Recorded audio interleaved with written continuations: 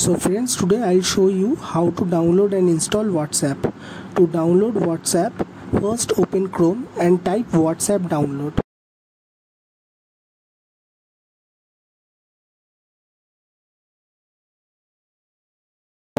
Click on the first available link which is shown on the display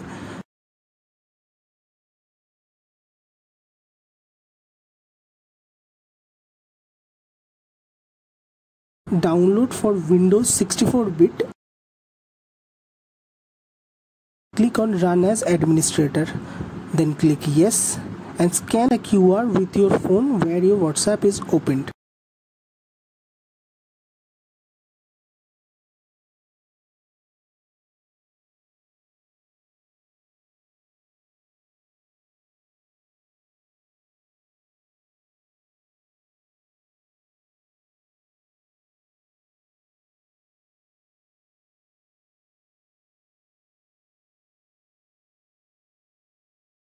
remember your phone must be connected to the internet.